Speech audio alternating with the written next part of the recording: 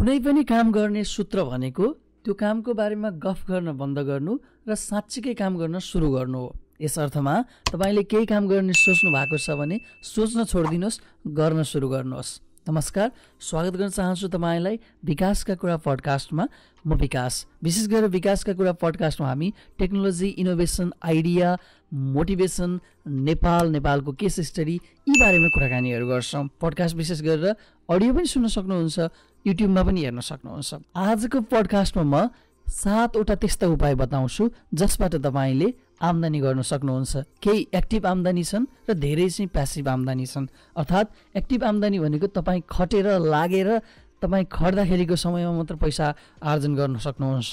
तर प्यासिभ आम्दानी भनेको चाहिँ तपाईँ खट्नु भएको छ कुनै समयमा तर अरू बेला नखट्दाखेरि पनि सुरुको त्यति बेलाको खटाइले गर्दा नियमित रूपमा तपाईँको आम्दानी भइरहेको छ भने त्यो प्यासिभ आम्दानी हो।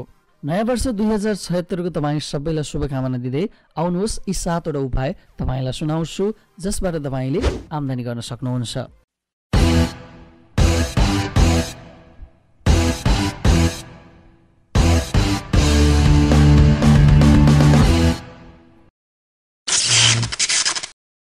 पहिलो उपायमा मैले राखेको छु मोबाइल एप्लिकेसनबाट आम्दानी। विशेष गरेर पछिल्लो पटक राइड सेयरिङ एप्लिकेसनहरूबाट पनि आम्दानी धेरैले गरिराख्नु भएको छ जस्तै नेपालमा टुटल र पठाओ छ। विदेशहरूमा त उबर लिफ्ट लगायत धेरै कुरा छन् तर नेपालमा टुटल र पठाओ छ जसमा तपाईँले आफ्नो स्कुटर र बाइकमा पछाडि अरूलाई राखेर यात्रा गराउन सक्नुहुन्छ जसबाट तपाईँले आम्दानी अर्थात् पैसा आर्जन गर्न सक्नुहुन्छ। अब यसको लागि तपाईँ खटेरै लाग्नुभयो भने त धेरै आम्दानी गर्न सक्नुहुन्छ तर मानिलिउँ तपाईँ यसमा रजिस्टर हुने भयो सबै प्रक्रिया अप्नाउनु भयो र आफू कतै यात्रा गर्न जाँदा त्यो एप्लिकेसनमा हेरेर पाँच दस मिनट यताउता आफ्नो बाटो पारेर कसैलाई छोडिदिनु भयो भने आफ्नै यात्रा गर्दाखेरि पनि तपाईँले खाली सिटमा अरूलाई राखेर आम्दानी गर्न सक्नुहुन्छ। त्यसरी नै एयरबिएनबी र बुकिङ डट कममा पनि तपाईँले आफ्नो कुनै पनि घरमा एउटा कोठा खाली छ त्यसमा एउटा खाट छ टेबल छ भने त्यो अरूलाई रेन्टमा दिएर आम्दानी गर्न सक्नुहुन्छ। एयरबिएनबी त्यसैको लागि बनेको छ। तपाईँले त्यसको लागि राम्रो फोटो खिच्नुहोस् अपलोड गर्नुहोस् रजिस्टर गर्नुहोस्। त्यस पछाडि मानिसहरूले काठमाडौँमा पोखरामा विशेष गरेर सहरहरूमा यी कुरा लागु हुन सक्छन्। जो होटेल चाहँदैनन् र सस्तोमा बस्न चाहन्छन् उनीहरूले तपाईँको घर तपाईँको लिस्टिङ त्यो साइटमा भेट्न सक्छन् र त्यहाँबाट लिन्छन्। यसको लागि कमिसनको लागि कतै न कतै कार्ड र अनलाइन पेमेन्टको इस्यु त आउला तर आइहाल्यो भने तपाईँले विदेशमा बस्ने साथीहरूबाट केही न केही तरिकाले सहयोग माग्न सक्नुहुन्छ र काम गर्न सक्नुहुन्छ। उपाय दुईमा मैले वेबसाइटबाट भनेको छु। भइरहेको वेबसाइटमा तपाईँले आफ्नो कन्टेन्ट राखेर पनि आम्दानी गर्न सक्नुहुन्छ। जस्तै सटर स्टकमा त्यस्तै गरेर फाइभ हन्ड्रेड पिएक्समा तपाईँले आफ्नो राम्रो क्वालिटीको फोटोहरू खिचेर राख्न सक्नुहुन्छ। त्यस्तै गरेर फोटो लिएको छ जुन एडबको स्टक हो त्यसमा पनि तपाईँले आफ्नो फोटो राख्न सक्नुहुन्छ। आफ्नो फोटो राखिसकेपछि तपाईँको फोटोको भ्यू अनुसार बिसदेखि साठी प्रतिशतसम्म तपाईँले कमिसन पाउनुहुन्छ। कुरा फेरि पनि आउँछ अनलाइन पेमेन्टको किनकि कतिपय यी वेबसाइटहरूबाट तपाईँले पैसा झिक्दा तपाईँको कतै न कतै पेपालको जरुरी हुनसक्छ तर कतिमा नहुन पनि सक्छ। यदि भइहाल्यो भने फेरि पनि तपाईँले कोही साथीको मद्दत माग्न सक्नुहुन्छ यदि तपाईँसँग मास्टर कार्ड वा पेपाल एकाउन्ट छैन भने। विशेष गरेर नेपालमा अनलाइन पेमेन्टको समस्याले गर्दा धेरै कुरा गर्न गाह्रो छ। यद्यपि तपाईँले सबैभन्दा पहिला त काम सुरु गर्नुहोस् आफ्नो पैसा कलेक्ट गरेर राख्नुहोस् त्यस पछाडि कसरी झिक्ने भनेर अर्को एपिसोडमा नेपालबाट अनलाइनको पेमेन्टको समस्याहरूलाई कसरी बाइपास गर्न सकिन्छ वा कसरी सोल्भ गर्न सकिन्छ यो कुरा पनि अन्य पडकास्टहरूमा लिएर आउनेछु। तेस्रो उपायको लागि मैले लिएको छु फ्रिल्यान्सिङ अर्थात् तपाईँले फ्रिल्यान्स गर्न सक्नुहुन्छ। फ्रिल्यान्स एकदमै पपुलर शब्द हो। जसमा चाहिँ तपाईँले जसरी नेपालमा कसैसित एक घन्टा दुई घन्टाको काम गरिन्छ र त्यसको बाबत पैसा लिइन्छ ठ्याक्कै त्यसैको चाहिँ एउटा संस्करण हो जो अनलाइन दुनियाँमा एकदमै चर्चित छ। हुन त यो अनलाइनमा मात्र हुनुपर्छ भन्ने छैन। यद्यपि अनलाइनमा धेरै प्रयोग भइरहेको हुन्छ। जस्तै फ्रिल्यान्सर डट कममा इन्डियाबाट पाकिस्तानबाट विश्वका विभिन्न कुनाबाट वेबसाइट बनाएर लोगो बनाएर वा डाटा इन्ट्री गरेर धेरै यस्ता कामहरू गरेर पनि आर्थिक आम्दानी लिइरहेका छन्। अपवर्क छ त्यस्तै फाइबर डट कम छ जहाँ तपाईँले आफ्नो अनलाइन क्रिएसनहरू त्यसको लागि तपाईँसित इन्टरनेट हुनु पऱ्यो एउटा राम्रो कम्प्युटर हुनु पऱ्यो अब कम्प्युटर पनि डिजाइनसँग गर्नुहुन्छ भने अलिक पावरफुल हुनु पर्ला केवल तपाईँले टाइपिङ गर्ने हो अथवा डाटा इन्ट्री गर्ने हो भने त्यति धेरै स्पिड अथवा त्यति धेरै राम्रो क्यापेसिटीको कम्प्युटर पनि चाहिँदैन। तर तपाईँले आफ्नो जुन क्षमता छ लोगो बनाउन जान्नुहुन्छ डिजाइन गर्न चाहनुहुन्छ वा तपाईँको टाइपिङ स्पिड राम्रो छ यी विभिन्न कुराहरूलाई तपाईँले फ्रिल्यान्सरमा गएर आफूलाई मन परेको प्रोजेक्ट लिएर त्यसबाट पनि तपाईँले आम्दानी गर्न सक्नुहुन्छ। कुरा फेरि पनि अनलाइनमा आउँछ। मैले भने पहिला काम सुरु गर्नुहोस् केही आम्दानीहरू लिन थाल्नुहोस्। बरु तपाईँको रेभिन्यूहरू आइसकेपछि तपाईँले आफ्नो एकाउन्टमा ट्रान्सफर गर्न नसक्ने त्यो सिचुएसन आउँदाखेरि अनि बल्ल हामी फेरि अर्को पोडकास्टमा तपाईँलाई भनौँला कि कसरी ती आम्दानीहरू लिएर आउने। तर पहिला यी कुराहरूले तपाईँलाई काम गर्नको लागि नरोक्नुहोस्। सबैभन्दा महत्त्वपूर्ण कुरा के हो भन्दा पहिला तपाईँले काम सुरु गर्नुहोस्। चौथो उपायमा मैले अनलाइन सपिङको गरेको छु। विशेष गरेर ड्रप सिपिङहरूको कुरा अर्को पडकास्टमा गरौँला तर आजको क्रममा चाहिँ विशेष गरेर नेपालबाटै तपाईँले कसरी अनलाइन सपिङ गर्न सक्नुहुन्छ? नेपालबाट धेरै कुराहरू विदेशमा आवश्यक भइरहेको हुन्छ। सामान्य एउटा किताब पुस्तकहरूदेखि लिएर नेपालका केही सामान्य कुराहरूदेखि लिएर ठुला ठुला कुराहरूसम्म विदेशमा आवश्यकता भइरहेको हुन्छ।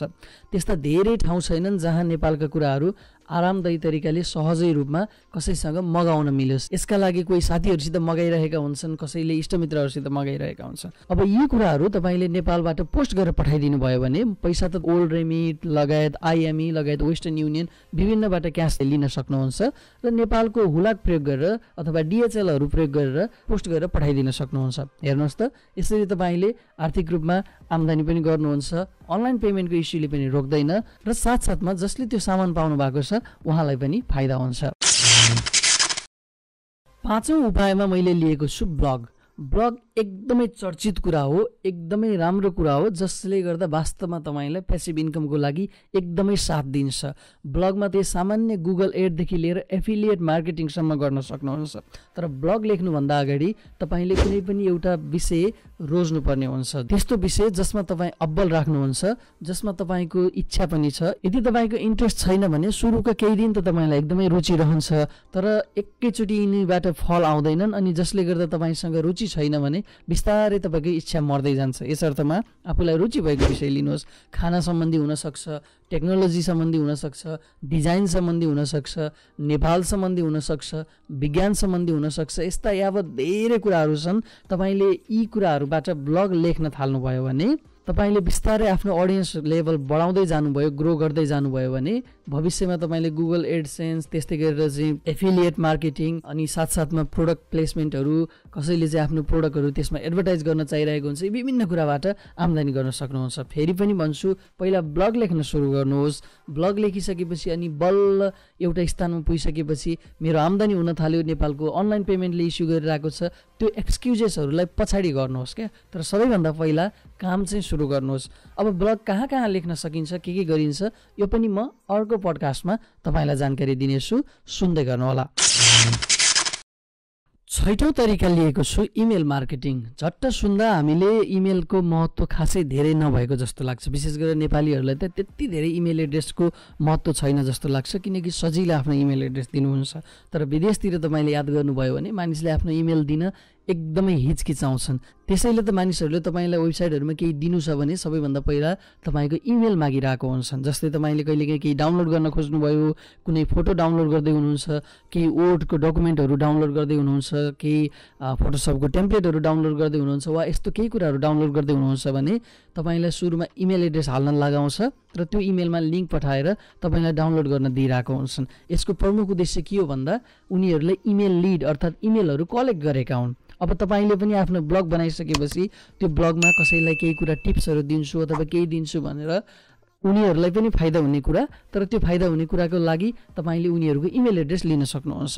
तपाईँसँग हजार दुई हजारवटा इमेल एड्रेस भयो र विशेष गरेर कुनै पनि विषयको लागि इमेल एड्रेस भयो भने भविष्यमा तपाईँको त्यो इमेल एड्रेस त धेरै रुपियाँमा बिक्छ। मैले यतिसम्म देखेको छु एउटा इमेल एड्रेसको लागि दस डलरसम्म तिर्नका लागि मानिसहरू तयार हुन्छन्। जस जस्तै कुनै एउटा कम्पनी सुरु गरे र त्यो कम्पनीले तपाईँको विषयमा जुन विषयमा तपाईँले ब्लग लेख्नुहुन्छ त्यो विषयको अडियन्सहरू उसलाई चाहियो भने उसले तपाईँसित त्यो इमेल लिस्ट किन्यो भने उसले त अलरेडी एक हजारवटा ती आफ्ना पोटेन्सियल कस्टमरहरू भेट्छ त्यसमा।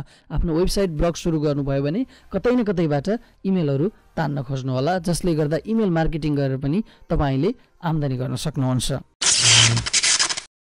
सातौँ तथा अन्तिम उपायको रूपमा मैले अनलाइन भिडियो लिएको छु। विशेष गरेर तपाईँले युट्युबमा भिडियोहरू अपलोड गर्न सक्नुहुन्छ।